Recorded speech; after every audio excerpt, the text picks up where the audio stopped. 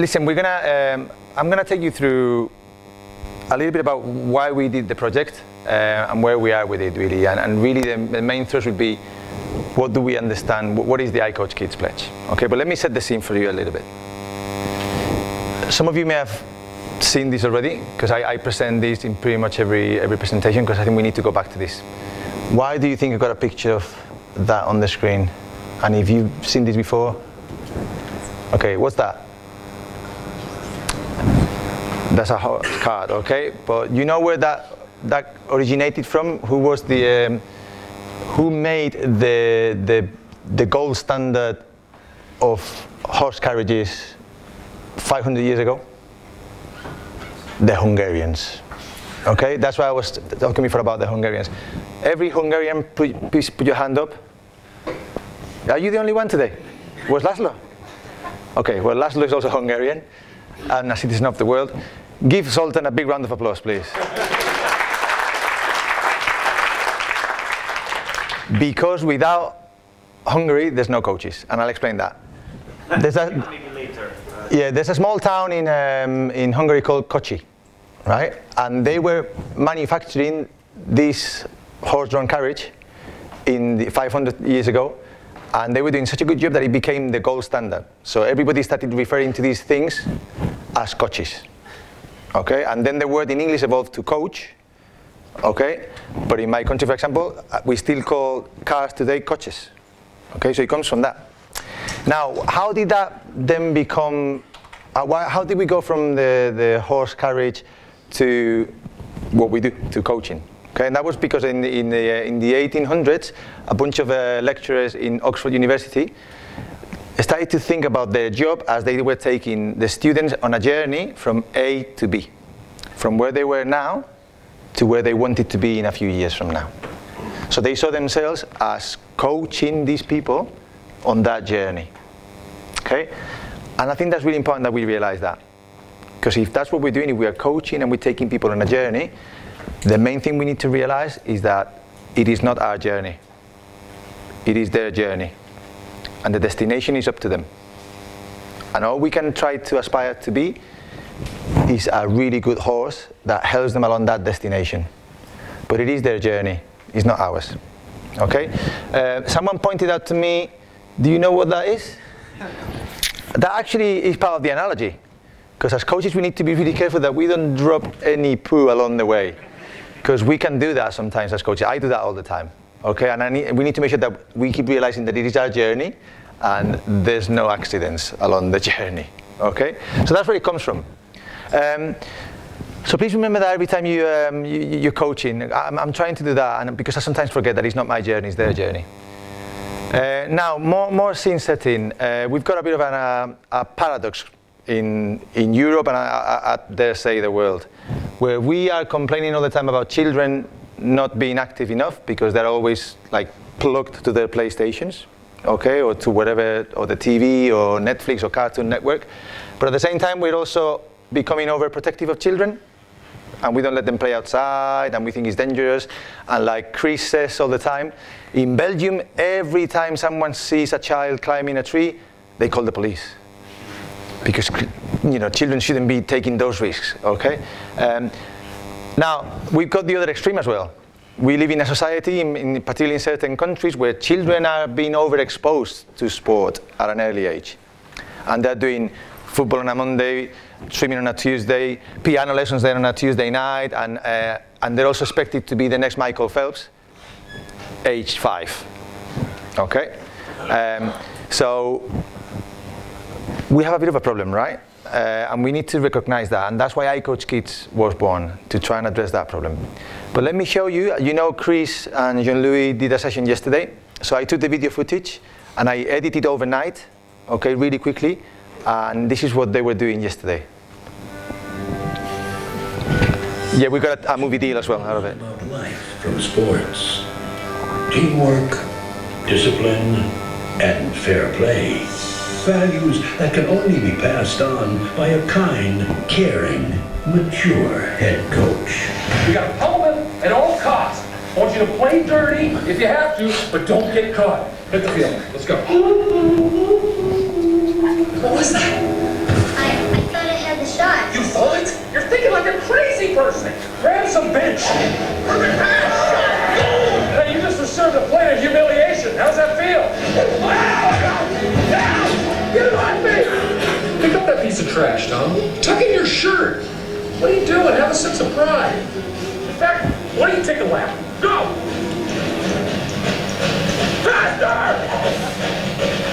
You call a group of 10-year-olds losers. You're a loser! You hear me? Loser! Dad, you gotta lighten up. I'm doing this all for you. So we have? Fun,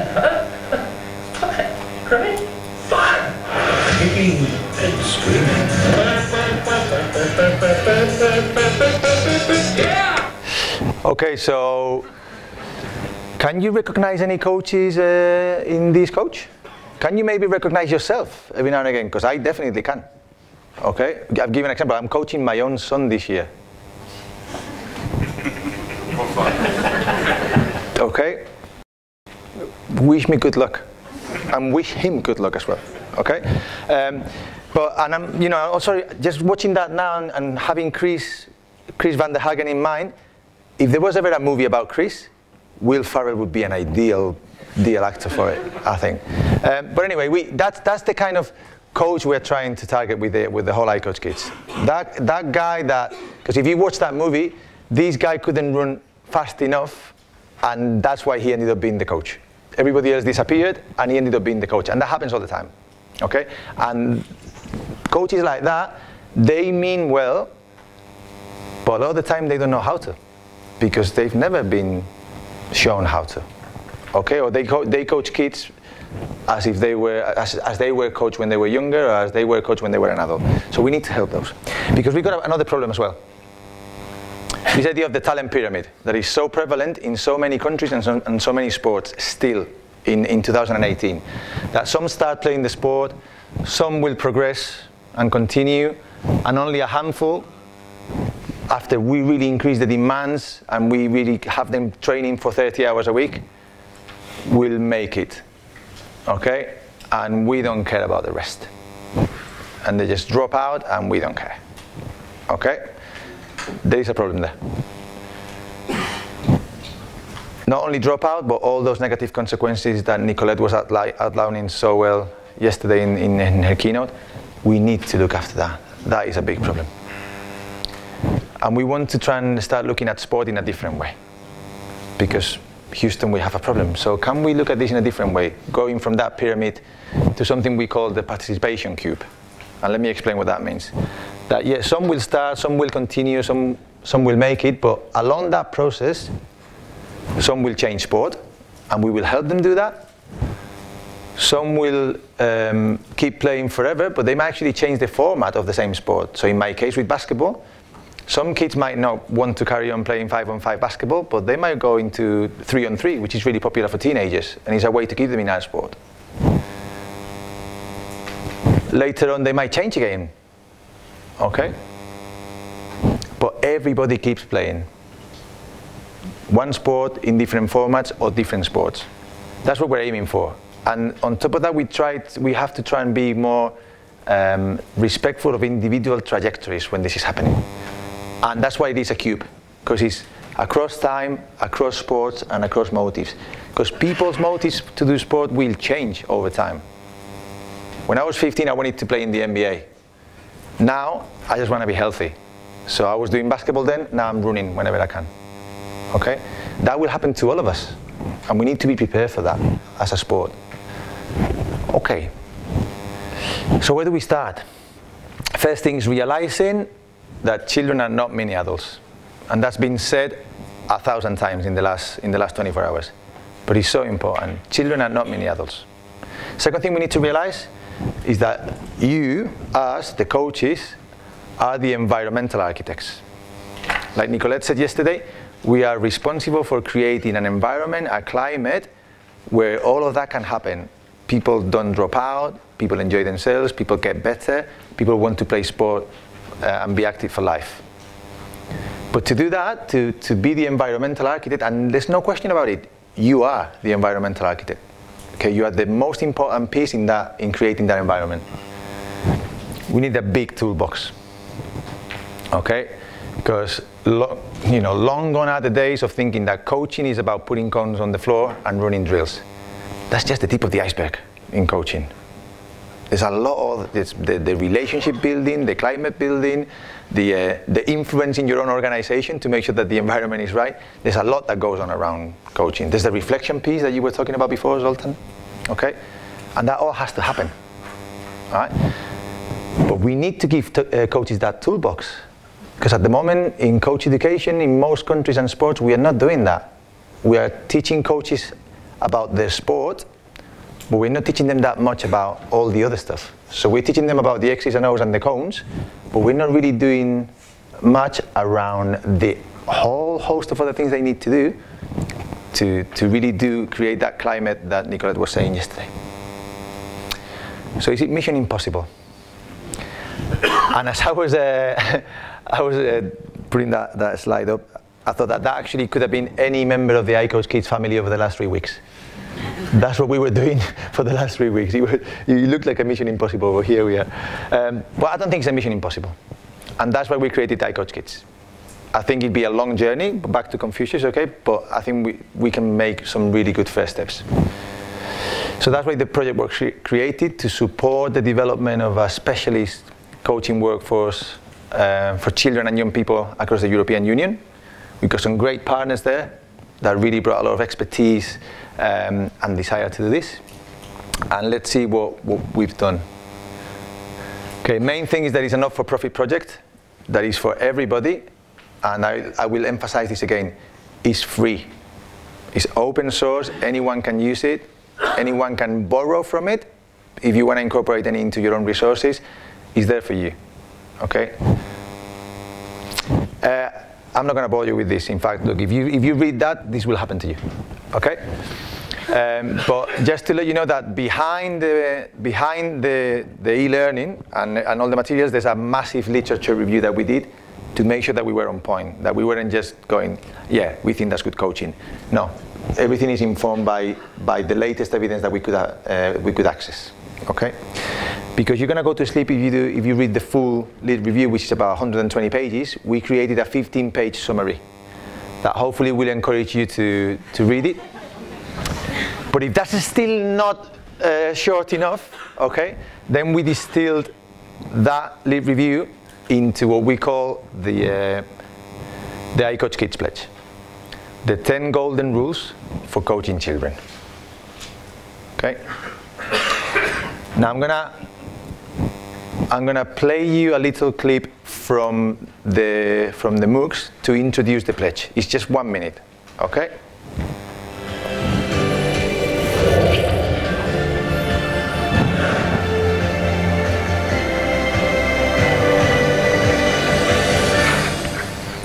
Hi again. We now have a very good idea of the role of the children's coach and the key elements we need to consider when developing sport programs for children. Over the course of the three MOOCs, we will go into a lot more detail in all these areas.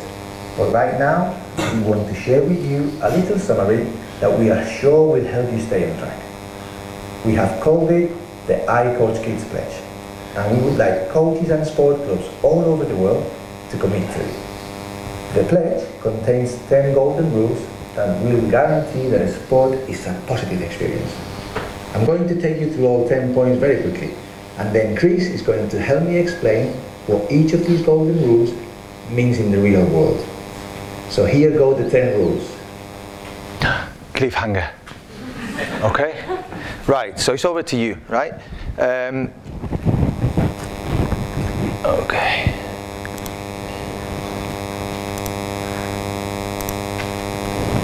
You've got three minutes to, with the peop, with, with the two guys next to you, in groups of three if you can, write down really quickly. You got three minutes, okay?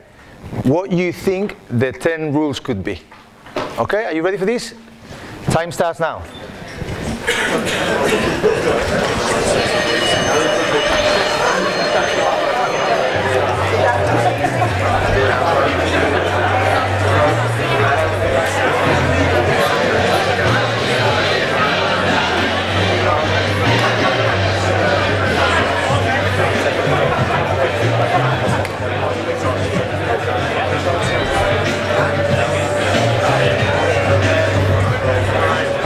You're right. Yeah, Good. Thank you for coming. That's quite quite all right. Um, how do I get on the Wi-Fi? Just got a couple of things to do on my. Uh. So you register and he sends you an email, but unfortunately within the building Yeah. there's no no signal, so you probably You have to go go outside. outside to get the email. It's, it's a pain in the backside. That's fine, thanks. Yeah, sorry. Don't worry.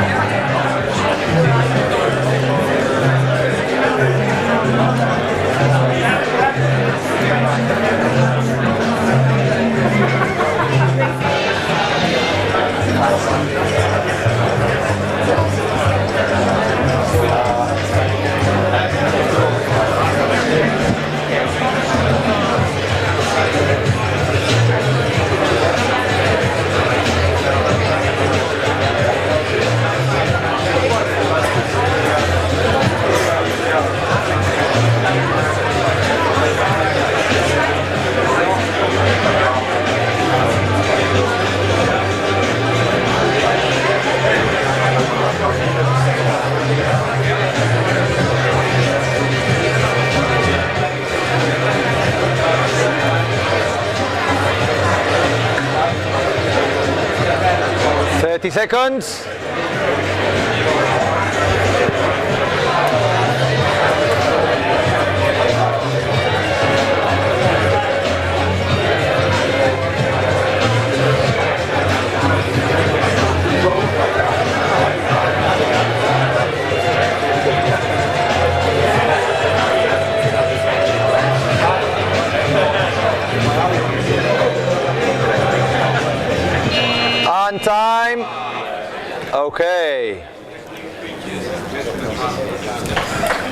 Okay, let me, let me, let me, let me.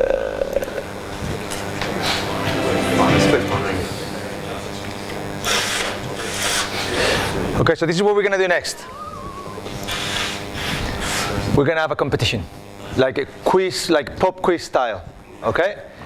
I'm gonna give you the 10 rules, and if you got it, okay, it doesn't have to be in the same words, obviously, but if you think that you got it, you gotta go, yeah! Okay? Can you do that? Yeah, are you sure? Yeah! Good. Well, let's go. Here we go. I'm going to take you through all 10 points very quickly. And then Chris is going to help me explain what each of these golden rules means in the real world. So here go the 10 rules. One, be child centered. Wow. Ready? Two, be holistic. Three, be inclusive. Wow. Yeah, Anybody uh, still on track for the bingo? Yeah? Four, make Yeah. Five, prioritize the love for sport above learning sport.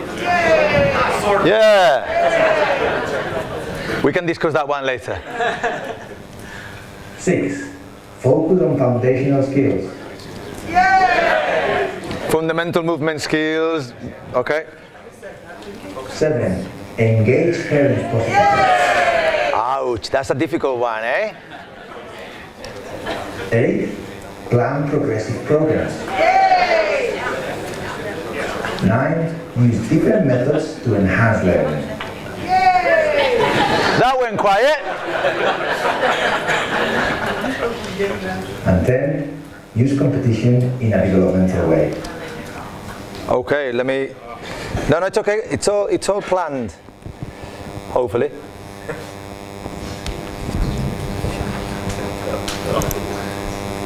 Okay. All right. So, wh- what happened in that? uh, That's the first time I've done this. Okay. What happened there? when we were doing when we were going down one by one, what happened? It got quieter and quieter, right? Which, honestly, I, didn't mean to, right? But it's interesting. Why do you think that was? You got tired? Okay. Damn, that's not what I was expecting. Was that all? Was it tiredness or?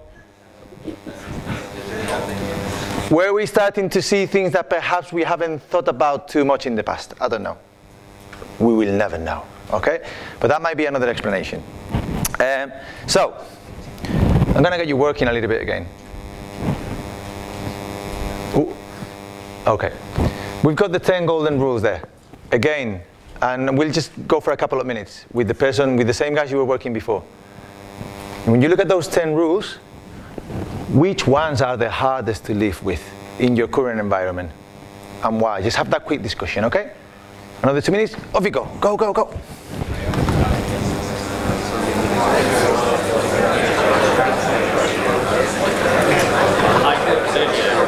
I think they should be five and five. Say that again. Five and five. The reason it's not required is the first five principles that everyone can buy into. The second five is about let me put this back on. Sorry. Sorry. yeah. Second five are more about practice. More about the how. Yeah. That's a really good point. And that's why they pay you the big bucks. Except they don't.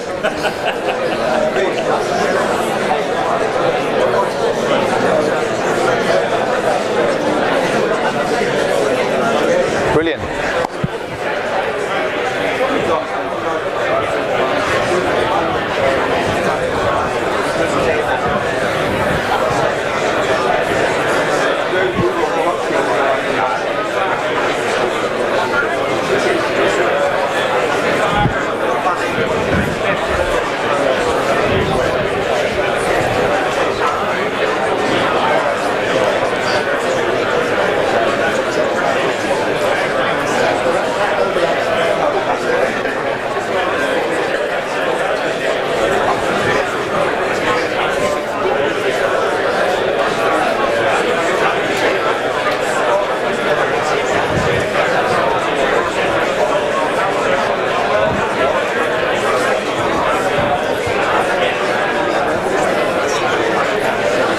Okay, and time.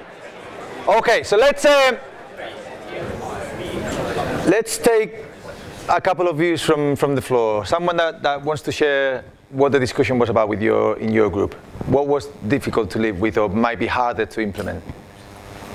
Yep.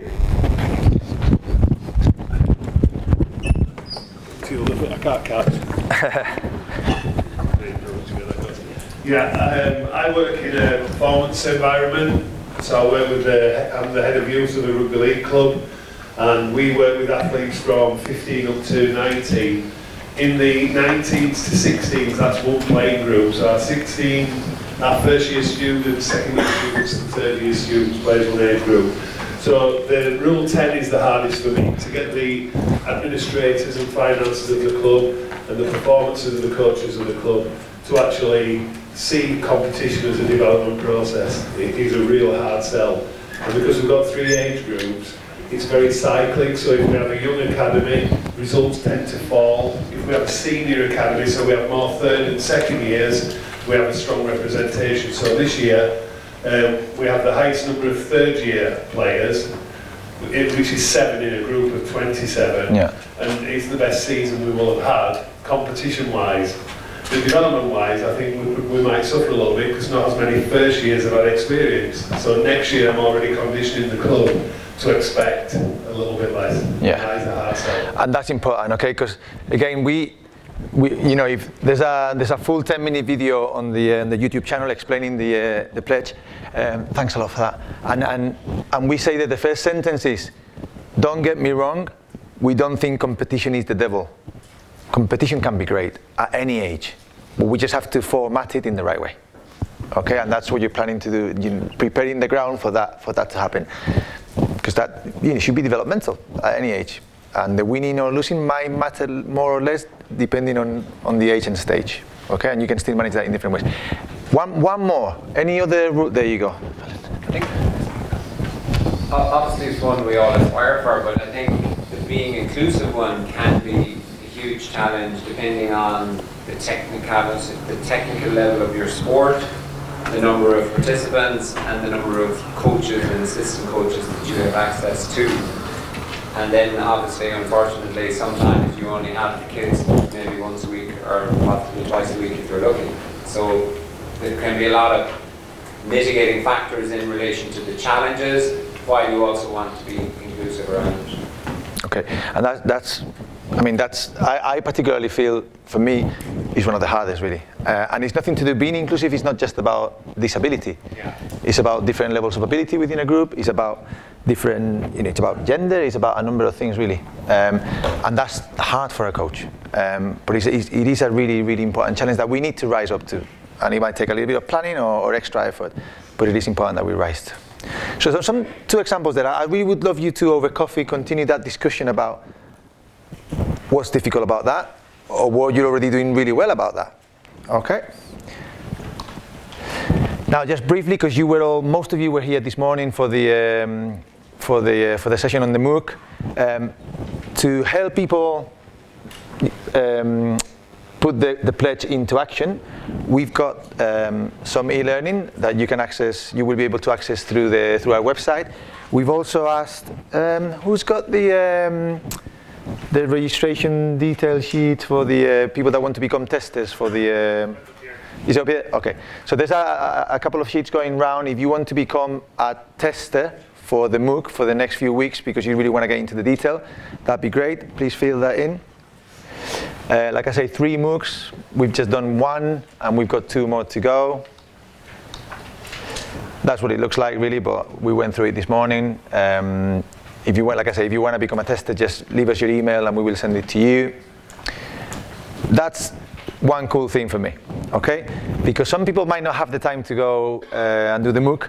We created the uh, YouTube channel, which I showed you this morning. But the reason why this is cool for me is because this is making me cool in front of my 12-year-old. Because he goes around telling people that his dad is a YouTuber. and I'm like, okay.